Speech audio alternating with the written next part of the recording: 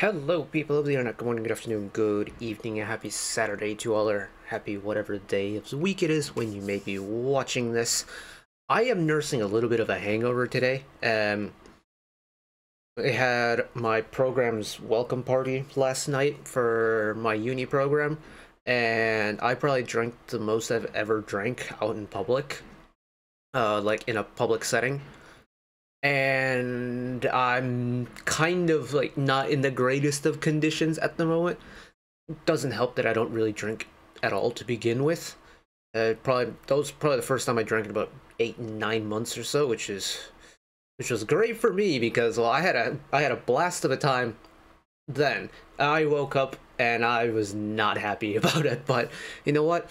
I'm gonna we're gonna push through it. I've got as much natural light going on as possible. I don't have the ring light on. I've got just sunlight basking through the veranda door. I've got nice cup of tea going on. I'm just ready to take in some great music because it's Saturday and that means OST Saturdays is back. Welcome to episode 2 of season 2 of OST Saturdays, our weekly roundup of OSTs that have dropped over the course of the past 7 days or so.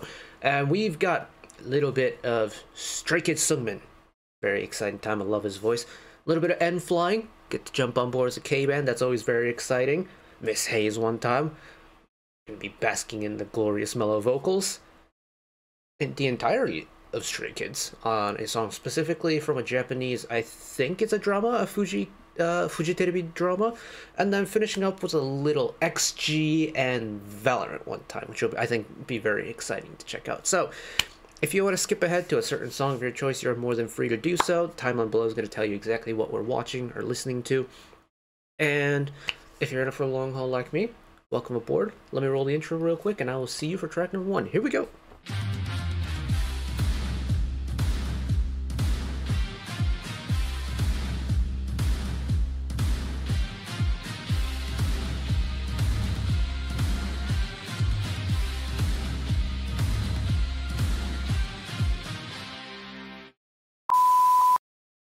Rightio. Um, I will give this disclaimer again. Um, I mentioned it last week, but this year I'm gonna try and limit as much as like the, especially when it comes to drama stuff. Just try and limit the amount of uh, what do you call it?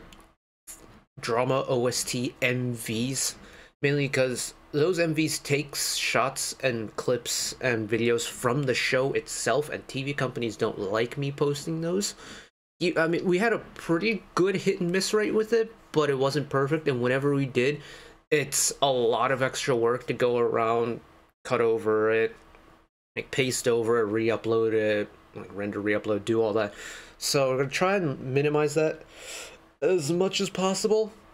If there's like an official lyric video for it that doesn't include like moving images, or if there's live clips of it, we'll run those if I could find them at the time of recording there's certain like OST stuff that we can run the MVs for, like XG's Valorant, like Riot Games are usually pretty good with that kind of stuff, so I think we'll be okay with running that. But yeah, that's kind of like the admin stuff out of the way. And let's get started with song number one, Mr. Seungmin. This is going to be great fun indeed. I don't really care what type of song this is because it's Mr. Seungmin's voice and his voice is glorious. So, Destiny from Normal Midnight Studio. Here we go Bump up the volume in my ears a little bit.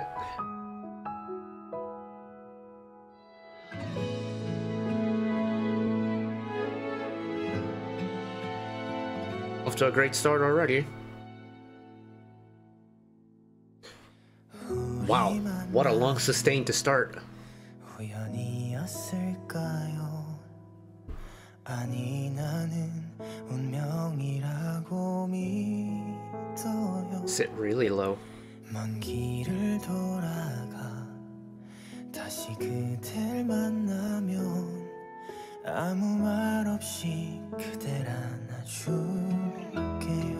Low power, low end vocal register, loads of emotion though. Very soft. Let the song grow a little bit.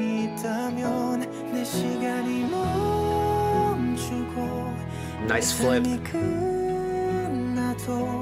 Love that.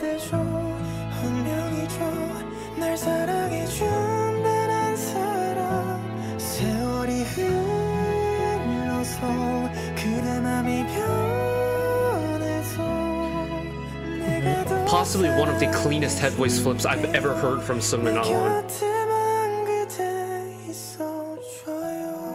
and then takes it all the way back down, lets the vibrato carry that phrase out. Mm. That first verse was chef's kiss.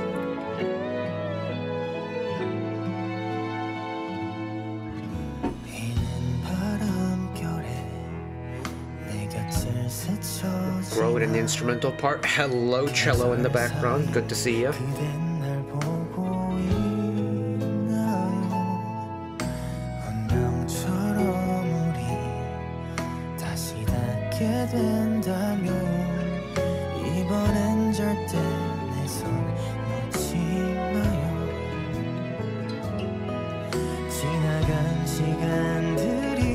This is definitely a bias point, but I love getting strings in a song like this. I think it adds to the emotiveness of it.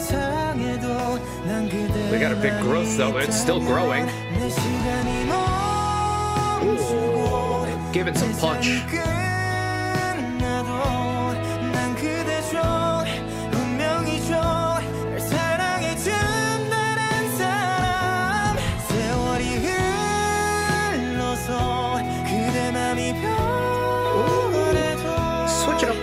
Voice flip the second time there.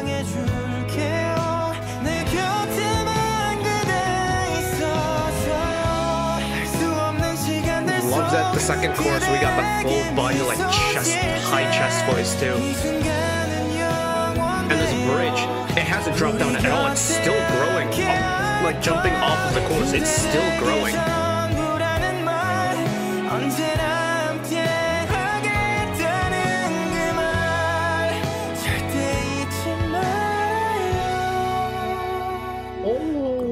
And then flip it off into that delicate, breathy voice.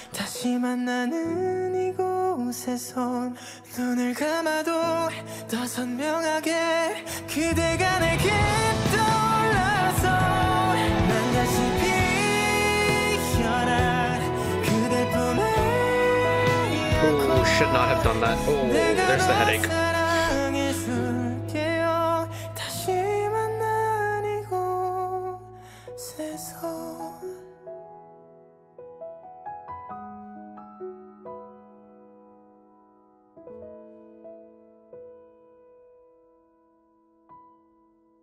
The piano carry it out. Sustain, sustain, sustain. It's a very nice song. It's a very nice song. Honestly, I, I can't name all the OSTs that I've heard from the Stray Kids members just en masse. But I feel like this might be the cleanest Seungmin OST I've heard full stop. It's vocally, it's so good. It's so clean. All the transitions are super clean. I think the emotiveness of this is absolutely spectacular. The way his voice kind of changes along with the song, the way the song grows along with Seungmin's voice, nothing is out of place. Everything is exactly how I want it to grow. Everything's exactly where I want things to be. And Seungmin just changes it up enough every single time for me to just be so invested in it no matter what he does. I can just i feel the very soft but wide vibrato he has in that lower register in the first one. I feel the powerful high chest voice in chorus too.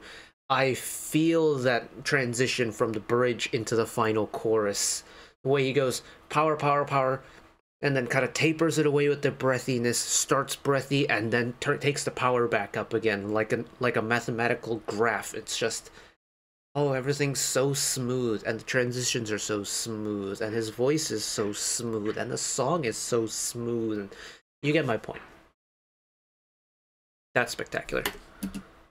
Rightio, we move N.Flying. This is going to be fun. Haven't checked out N.Flying in a hot minute, I feel like, but this is Star from Lovely Runner. K-band is going to be a great time. OSTs is going to be a great time. Put two and two together, I reckon this is going to be a good time. Here we go.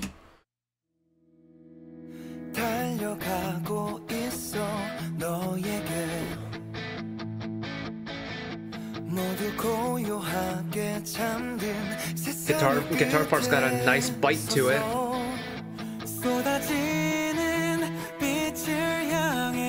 I swear to God, if if stills from the show gets this thing like content blocked, I'm gonna be livid.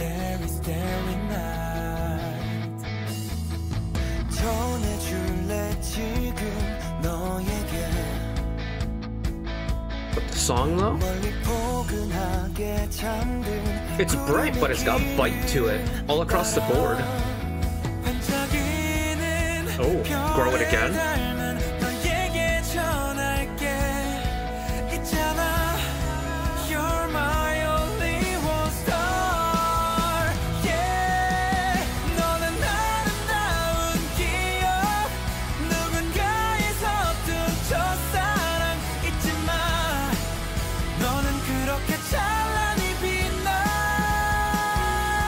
The high powerful voices. It's got the slightly crunchy guitar. It's got a good bass part. It's got a nice drum part.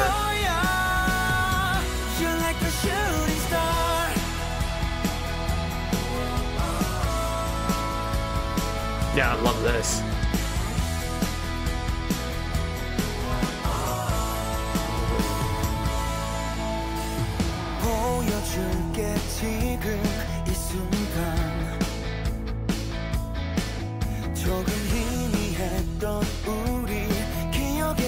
It's just an easy song to listen to. I think the pacing's really good too. It's not too fast, but it's got that kind of like toe tapping feel. It's a beat and a pace that's really easy to enjoy, I think.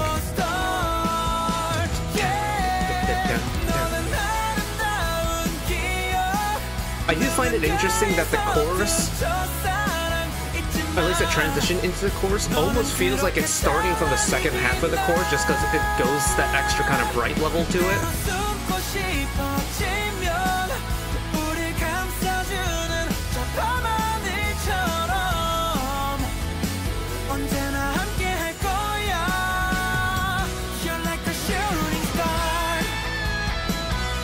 Hello, guitar solo. Good to see ya.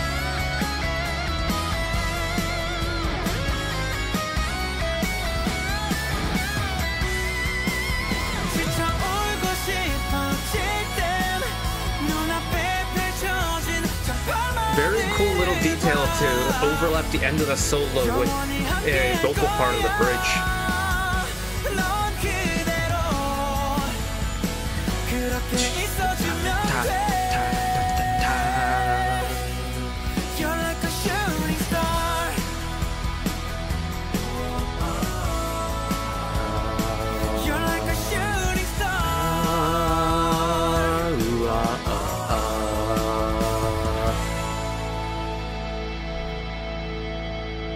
Let it ring. Let it ring. Oh, yes. Mm.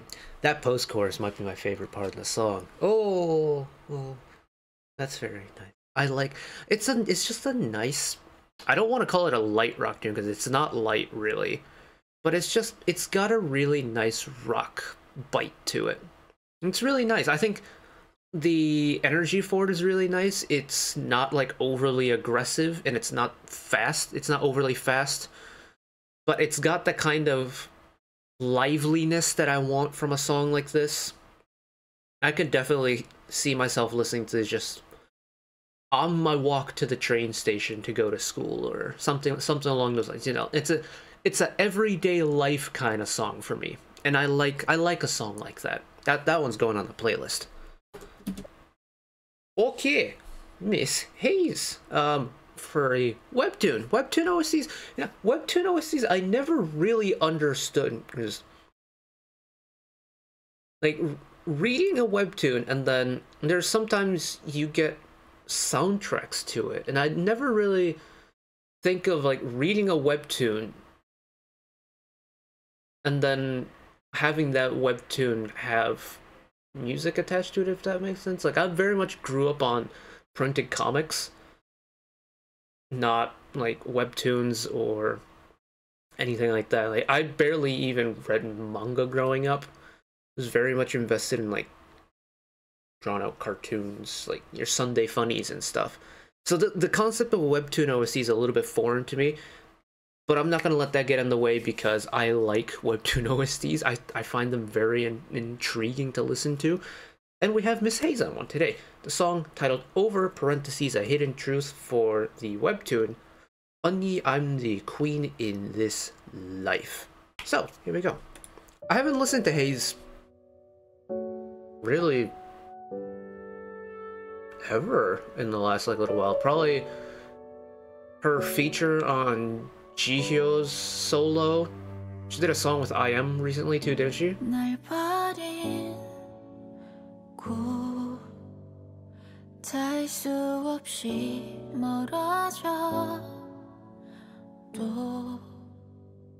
Like what you see 또 찢겨진 맘이 숨어질 듯이 깊어져가 Don't want it more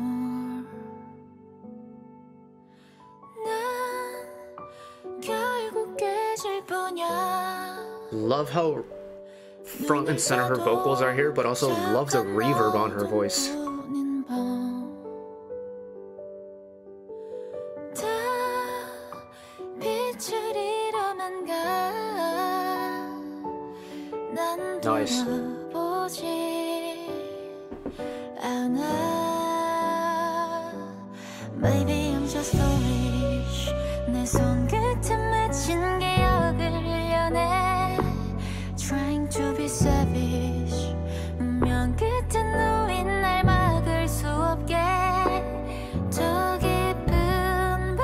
Pretty firm electric bass line. Like you can hear every little detail about it.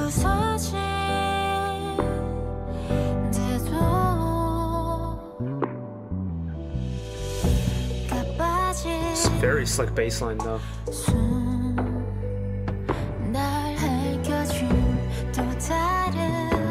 Interestingly, there isn't too like it's very evident that like the bass line and the vocals are front and center. And now we're getting the middle range, middle instruments kind of growing a little bit. Again, that string section that's growing.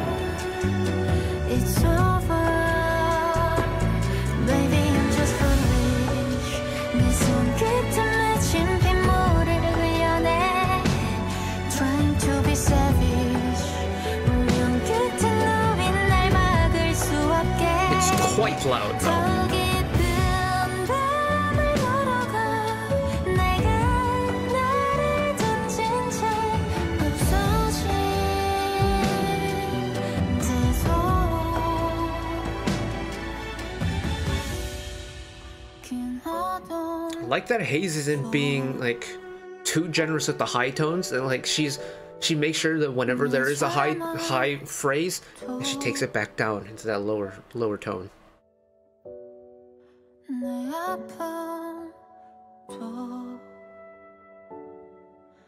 It's over.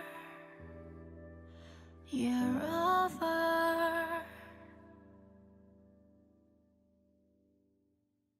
Oh Wow, that song went by so quickly. That felt like 2 minutes 14, not 3 minutes 14, but wow.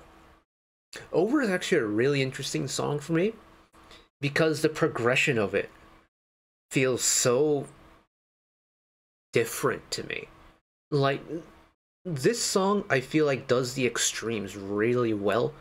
For some reason, the way, like, the peak point in the song in terms of how big and how loud it is felt really high. Admittedly, I did have the volume maxed out on accident, so if it was a little bit too loud, I can only apologize, uh, retrospectively apologize for that. But just going from that really loud high point to that very end when it just drops all the way down, I feel like that sheer drop was like the most pronounced max to min moment I've heard in an OST in a hot minute, actually.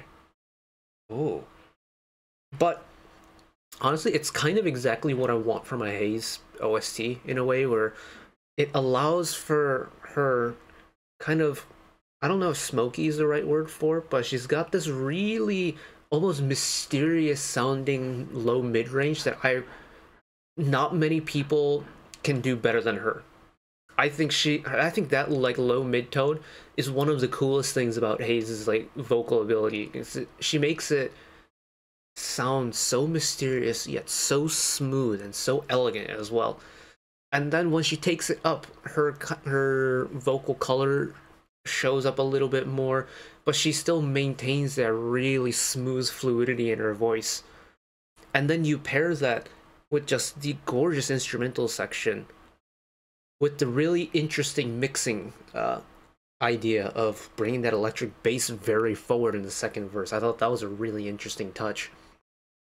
And then you fill the middle with string instruments. Like, yeah, that the only way this could have been like more meat coated is if they had managed to squeeze in a brass instrument in there or two. And well, admittedly, I feel like a brass instrument would be kind of inappropriate for a song of this nature, so this is pretty much meat coated. Can't complain about that one bit. Eh, we keep her moving. We're jumping on over to Japan side one time, which has me a little bit nervous because Japanese TV companies are even more strict about um, cop- copyright things of that nature.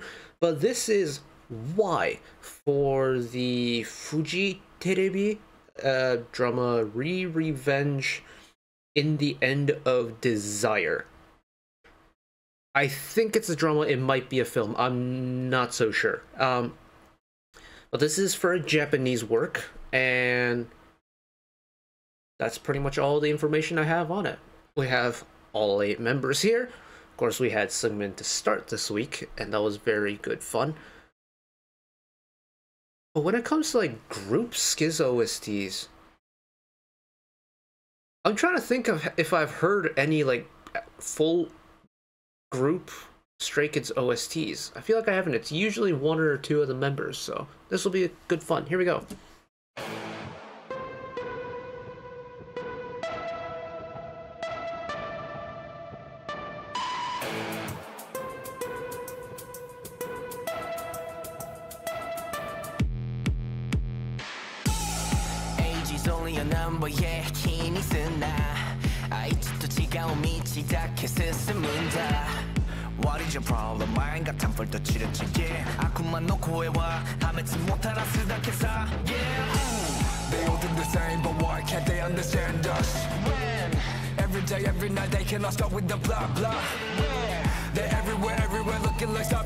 It's in a very interesting way. What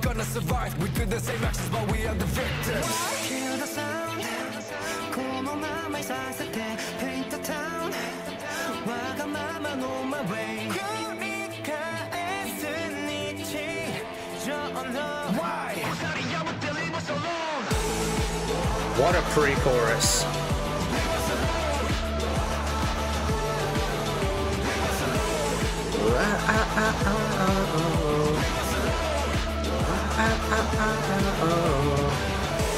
Nice.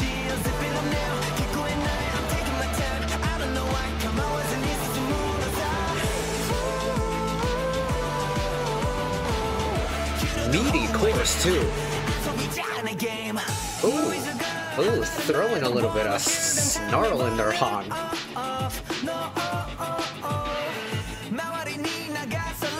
Lee Know's voice on this really suits him. Like, I think his vocal color on this song fits so well. The lines he's given and like the vocal range that Lee Know's parts are given to him in fit really well.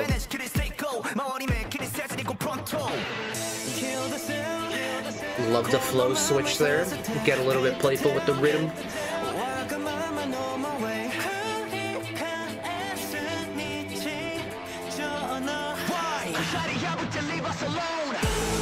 That pre-chorus, yeah, it's such a good setup for this chorus. It's it does exactly what it needs to do.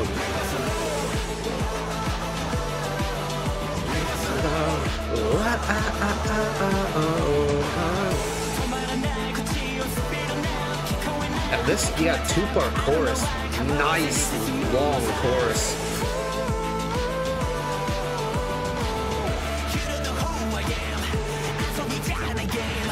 Yeah.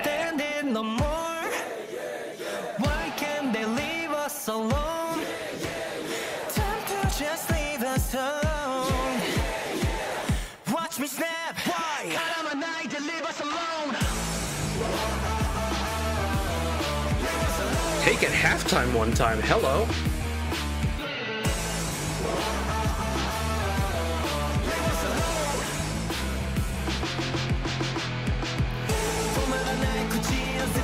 What an interesting guitar addition there.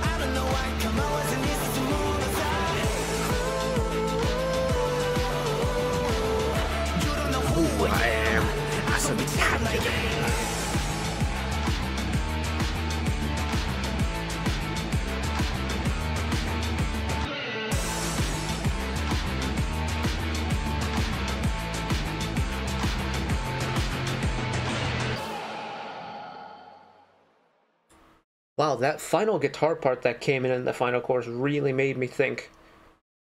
It's when the guitar part comes in, it's here. Oh, we're gonna play this part again.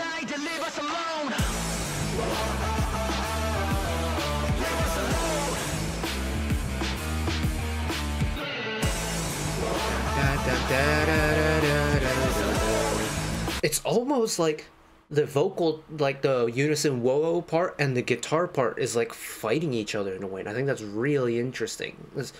Without the guitar part, the vocal part sounds just fine.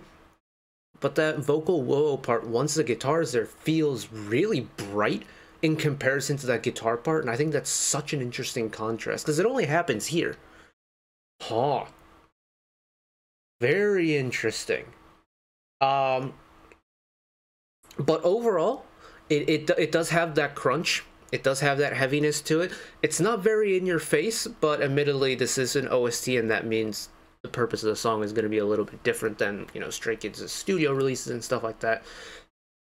But honestly, MVP for me is Lee Know on this. Like, I love all the guys and how they sound in their music, but genuinely, and this happened during uh, La La La La La La La and like th- well, this past era that Stray Kids had. Lee Know has been really standing out to me in recent Stray Kids releases. This one in particular, like his voice just suits this so well. He sounds so comfortable in this song. And I don't know what it is about it that makes it different to any other like Stray Kids release that they've had. But his voice is such a good fit for this. And then have Han with the little snarl in in one uh one part of the chorus too. And just being able to kind of flex that high vocal through certain members, flex the low vocal through certain members, but never feeling like they're purposely trying to shoehorn in like the not the funny elements, but like the iconic Stray Kids elements. Like they're not purposely like, shoehorning in a Felix low tone. Like we got Changbin doing some low parts, we got Hyunjin doing some low parts. They're not trying to shoehorn in a Seungmin and Aya and high part. It's all naturally woven in. I think that makes listening to it just easy. Good stuff. And then one more to go. Undefeated, formed by XG for Valorant's VCT Pacific 2024. Now, look, if there's ever a video game company out there who knows how to make and how to get together an artist to make good music, Riot is up there. Like, if we're talking just off the top of my head, the uh, what like we had Gods right with NewJeans last year, terrific song. Uh, we had uh, what's the new uh, virtual group they made with Baekhyun in it? Uh, but that group, of course, like K/DA exists as well, and the little kind of bits and bobs that Riot have done with music in relation to their other works has been spectacular. The track record has been terrific. And now you get XG on the scene. This could be a lot of fun. So let's check this one out. This is how we're going to finish off OST Saturday this week. So hopefully end it on a high. Here we go.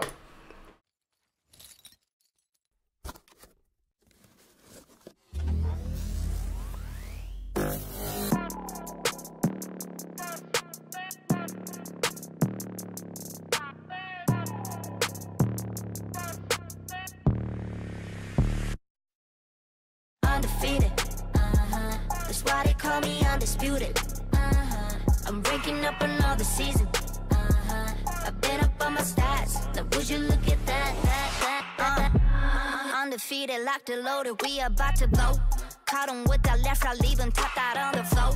Sounding itchy, sticky, swishy, watch me bank a score. Up in the boat, I'm in the zone, yeah, yeah. Go to the fire to breath. King of the jungle and beat my chest. This I'm posing the threat. Switch up the flow one time. Ring on my finger, but yes. Like playing chess and I don't even sweat. That's what I call it finesse. That's what I call it finesse. Ain't no rivals, ain't no rivals. Get vocal with it. They can try, but they're never ever slowing me down. On arrival, this is my show. Crossing my heart, they know we are undefeated. Uh-huh. That's why they call me undisputed. Uh-huh. I'm ranking up another season.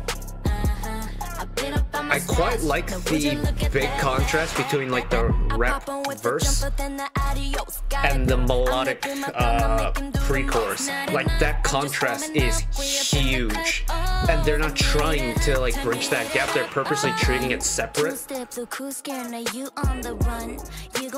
Because like, this part, very minimal in terms of the melodic elements in any part of the song, but switch it.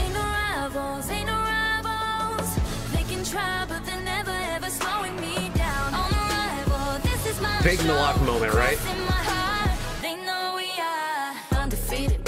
Uh-huh. And then we're back at this kind of bouncy beat that XG we know can do so well. But it's still retaining an element, an air to the melodic element, right? It's not just purely rhythmic anymore.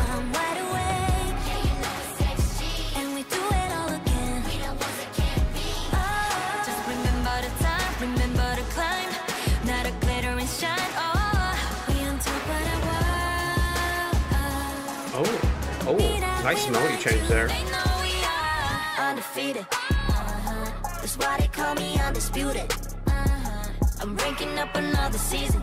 This song's incorporated the melodic elements in a really interesting way.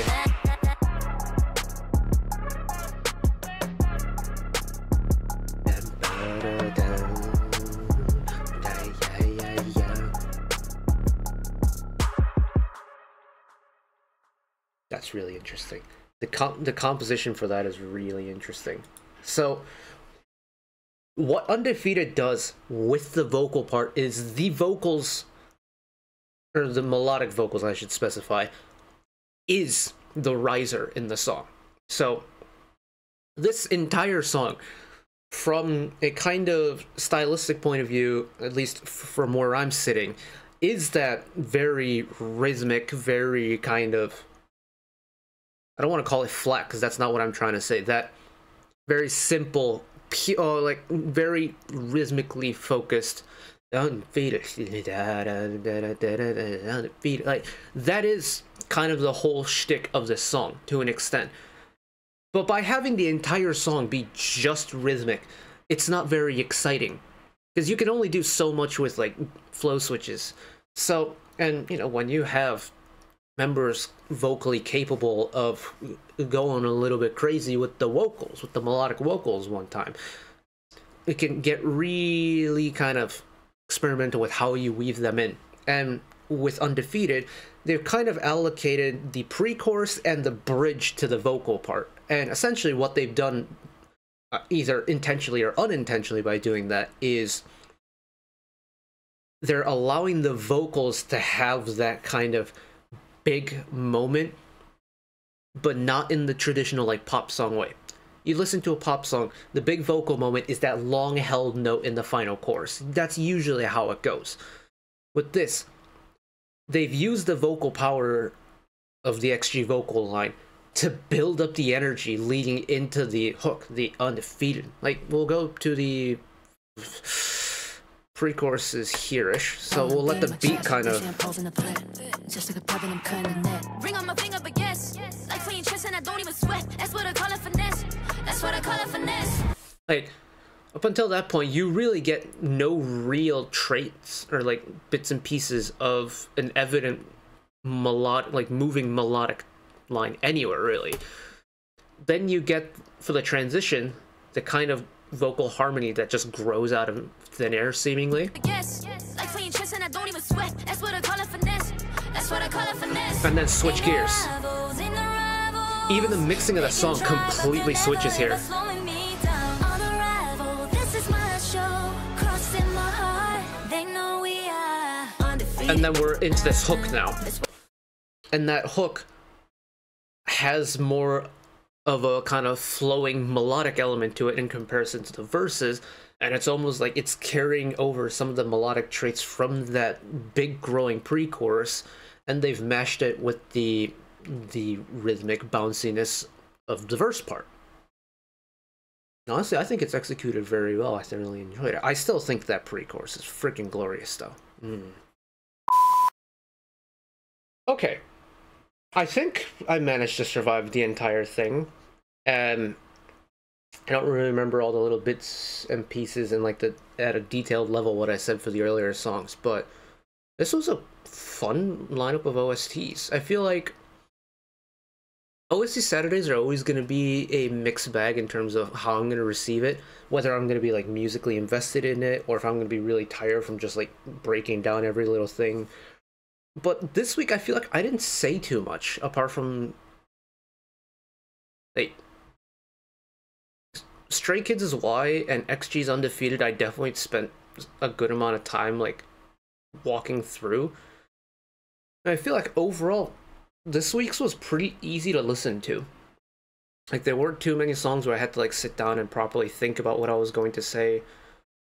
Like if ever I just kind of sat back and enjoyed listening to it. And honestly, in the condition that I'm in today, I'm not going to complain about that one bit. Um, favorite from this week? I know, N.Flying Star was really good. Seungmin's Destiny was really good. I'd probably say one of those two would take my pick from this week. But that's going to be it from me today with this week's roundup of OSTs. Reminder, we try and do this every single week. There's also a backlog of stuff from the past four months that I need to get around to. I think I'm going to be doing the month of December today. Uh, I don't know who's on that short list because I don't have it pulled up at the moment, but we'll get around to those. We'll run through those OSTs in some capacity moving forward to play a little bit of catch up. So if you're interested in any more OSTs, keep your eyes peeled for those. But that is it for me today. Thank you all for watching along with me. Hopefully you enjoyed it as much as I did. One last request from me today. Let's work together as a community to bring a little bit of extra happiness back into the world, whether it be checking with your friends and family, holding the door open for somebody, or even picking up a piece of trash off the street. Just one small act of kindness may brighten up someone else's day to day. And know that wherever you are in the world, should you ever be going through a tough time in your life, for whatever reason it may be, even though I'm just some guy in the internet who waffles about music in his free time, you know that I will always be a friend, ally, and a shoulder to lean on whenever you need me. So take care of yourselves, take care of each other, spread the love, and I will see you next time. Bye bye.